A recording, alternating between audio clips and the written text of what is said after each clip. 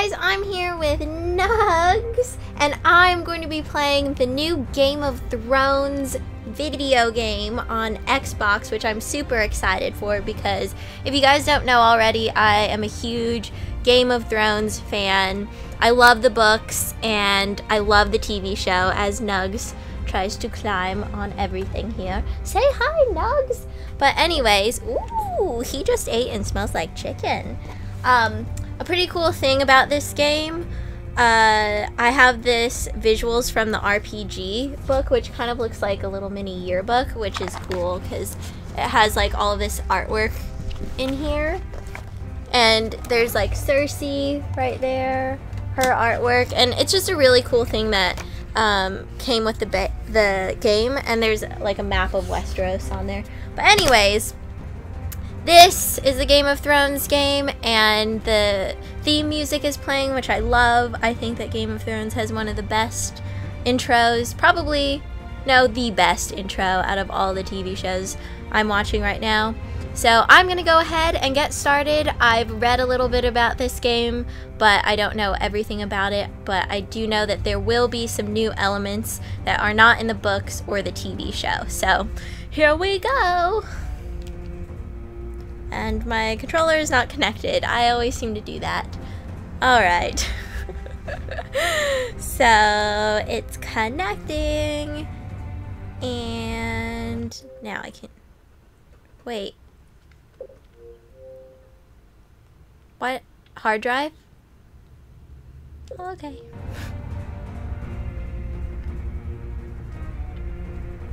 And new game. No. I want Squire. I need reduced difficulty. I need this to be as easy as possible for me. because I have a feeling that this game is not going to be an easy game. So, I'm going to go for the easy level here.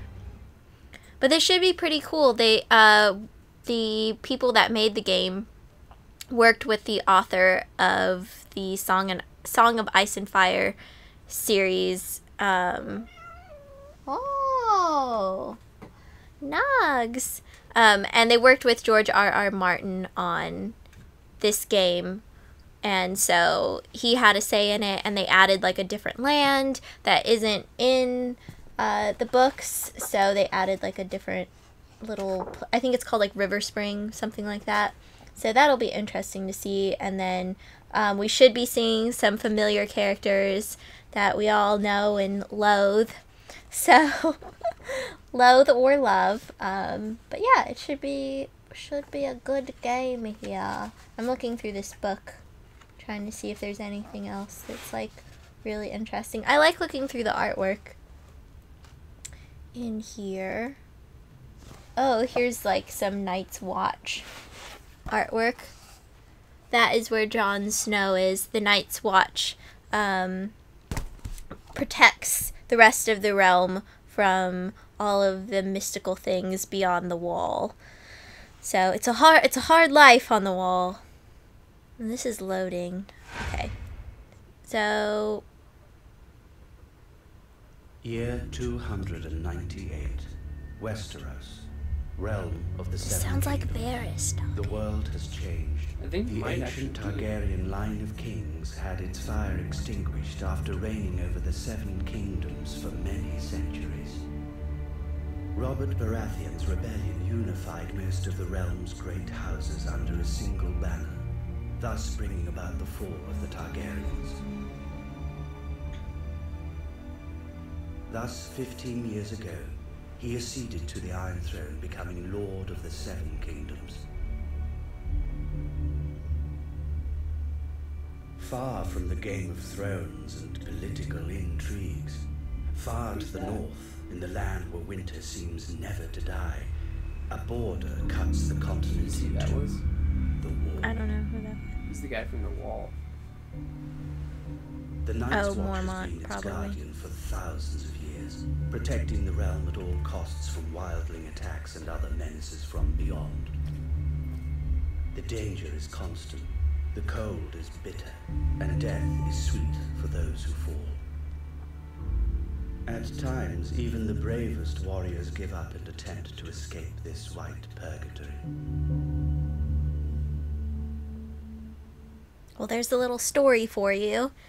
That's like, You're probably gonna be starting up by the wall. yeah, somewhere south of the wall.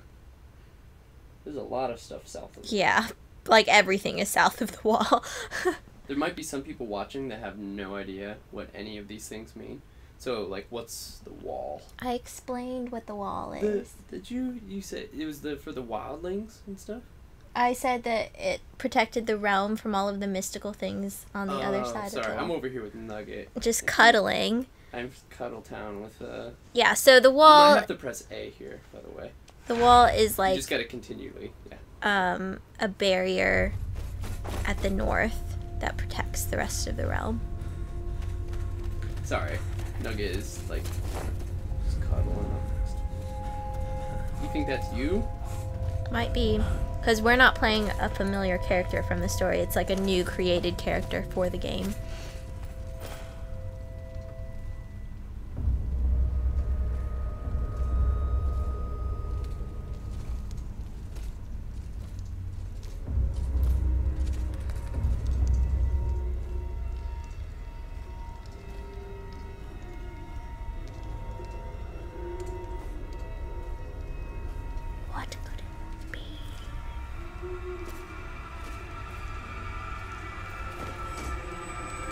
Watch out!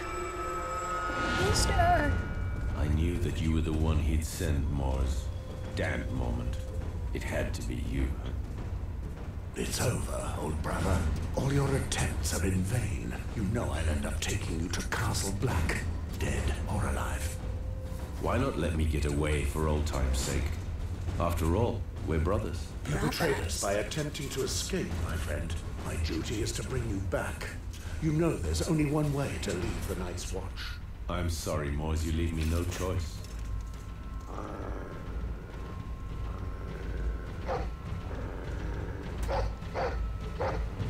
Oh shit.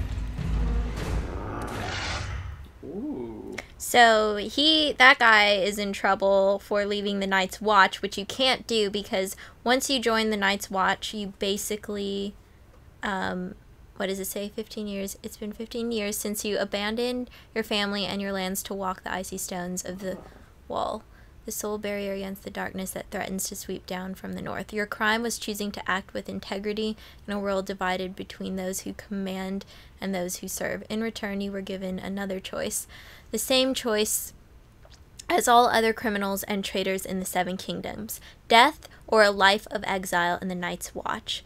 So, a lot of like rejects from society go to the Night's Watch, like rapers, um, bastards, people that like aren't wanted in society, or if Thieves. thieves like if they do something bad or some people do volunteer like Jon Snow to be part of the Night's Watch but you basically devote your life to the wall and so you take a, a, a vow of celibacy um, you can't have kids or be married because you can't have like those ties behind you so yeah that is basically what the whole Night's Watch thing is. It's not a fun job. It doesn't seem like a very fun job. So, anyways, continuing with this little spiel here. But wouldn't death have been a far sweeter fate, fate than a life of misery and violence? The outside world has forgotten this desolate place, lost in eternal winter. The wall slowly drains every last breath from those who patrol it, stealing the last dregs of warmth from their souls. On this bleak day, after hunting down a deserter, you are returning to the place you now call home, the headquarters of the Night's Watch, Castle Black.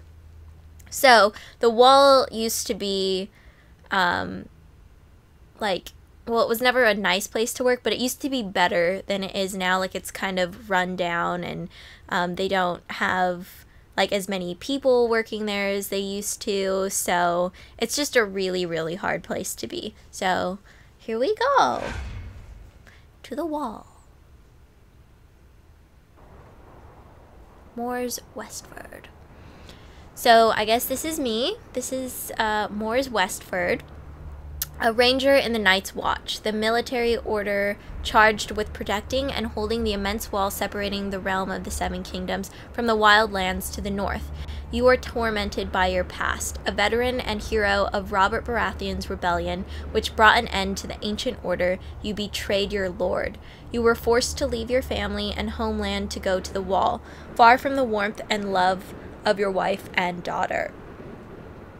So this guy had a family and had to go to the wall, but if you are like volunteering to be part of I guess you what I'm trying to say is once you're on the wall, you're not supposed to have a family or a wife and stuff.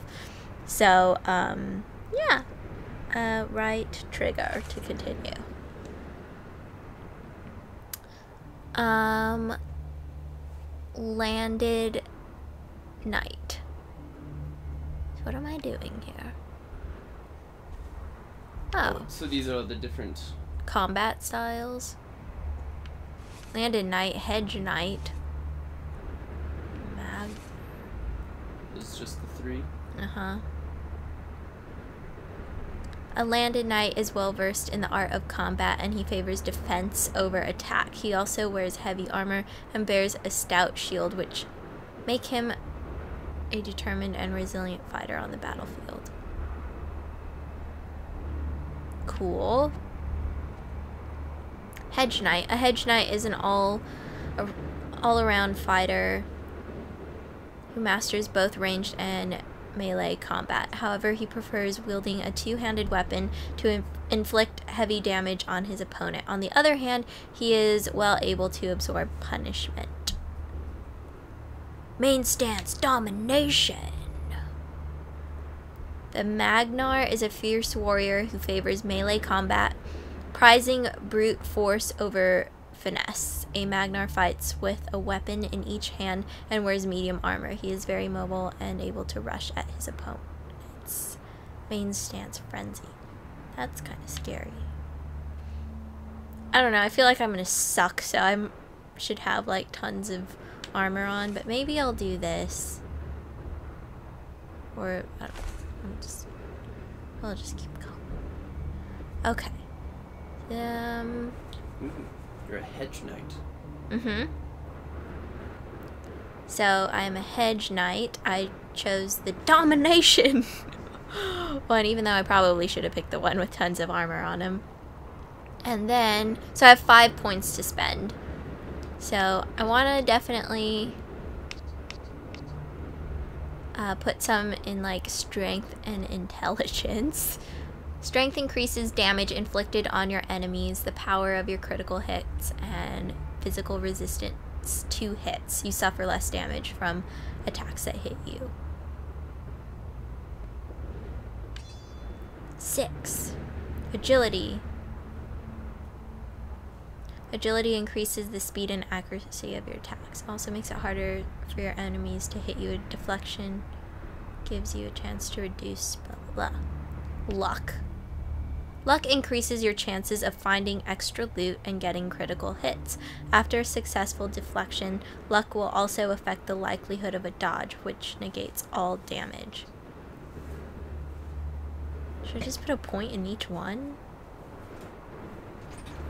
Intelligence? Intelligence improves your chances chances of negotiating for lower prices, increases energy recovery during combat, and increases the number of skill points for weapons and armor gained at each level.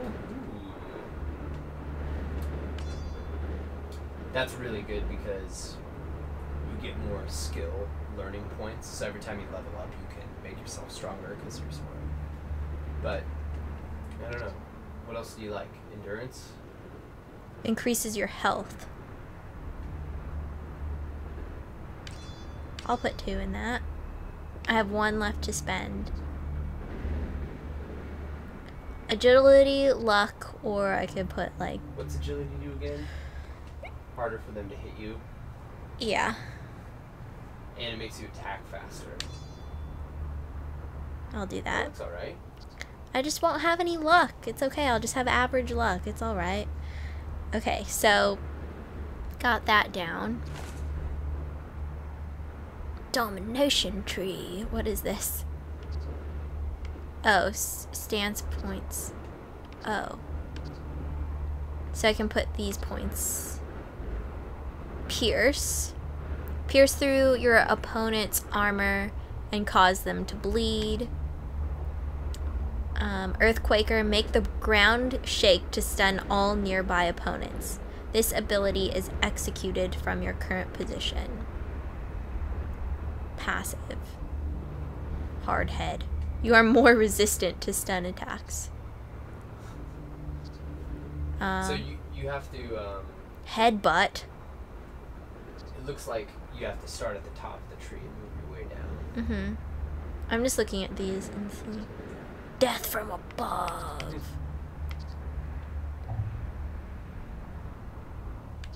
Um. How do I put the point in there? So you have to start at the top. Oh, at the very top. And what's this do? Devastation. Perform a massive strike against all opponents in front of you with a 120 degree cone over 3 meters. Oh, that's cool. So you hit everybody in front of you. So now you can go to the left or the right. What do you What do you think's better? Because you have Mm, to think towards the bottom of the tree too. the sight of blood. Your unquenchable thirst for violence is further fueled by the sight of blood. Oh, that's the passing. They're all pa. Wait. Plus 5% damage, plus 3% attack speed. Direct an attack at your opponent's existing wound. Unleash a wild swing thingy. What's this at the bottom? Raise your weapon to the skies and strike your opponent in the face! Oh! wow, that's why there's a face down there.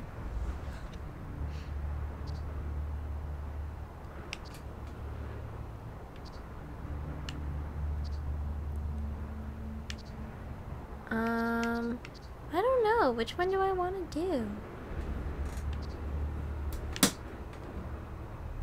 Maybe I'll do this side.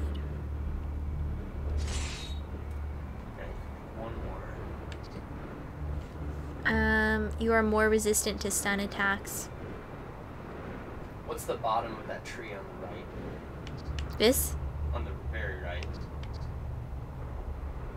You have unmatched physical strength thanks to your training. Hmm, that's pretty good. What's above it?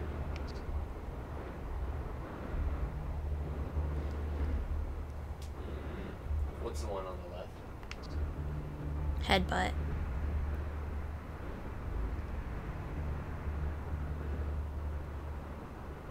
You should get a headbutt. Be a Yeah. headbutt guy. Headbutting seems like it would really hurt a lot. okay, so there is my little tree. Okay, skill points. Oh, gall. Um, What do you mostly want to be good with? Swords, axes, not axes. blunt, blunt weapons. I'd prefer sword. Kind of looks like you're pretty good with weapons. Yeah.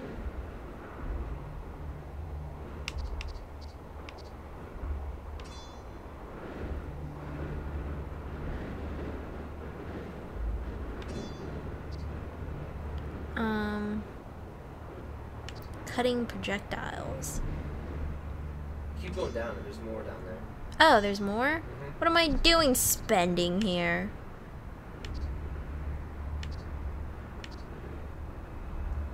Oh, keep going because there's armor. So that times two, I think, is like the stuff that, since you, that's like what you're good at. So you get twice as much. So heavy armor, you want to put like points in heavy armor. See that every time you put a point in it, you get twice as many. Oh, yeah. So you mostly want to just focus on that stuff. So like pole arms. What pole arms? Spears, halberds. Cool. So maces and and swords. And then what else was down there? Is there anything else at the bottom? I have five more. Oh, okay. So better with heavy armor. It gives you more hit points, more health, Mm-hmm. and then I'd say go put a bunch of points in swords because I bet you you start with a sword. Yeah. Yeah. I have two left. Maybe one in mace, one in full arms. Yeah. Just in case you grab one of those. All right. cool. All right, so that's going to be it for this episode. I'll see you guys in the next ep.